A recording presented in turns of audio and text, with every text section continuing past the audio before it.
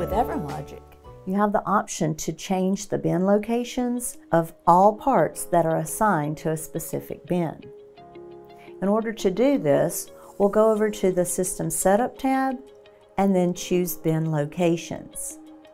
I'm then going to select the line with the bin location that I want to move the parts from. I'll do so by clicking the blue box to the left of the line that I want to select.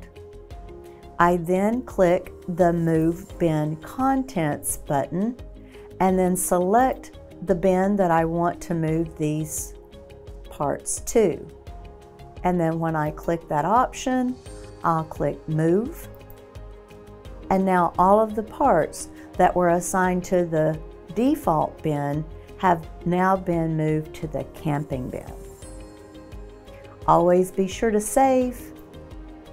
And now you're ready to move on.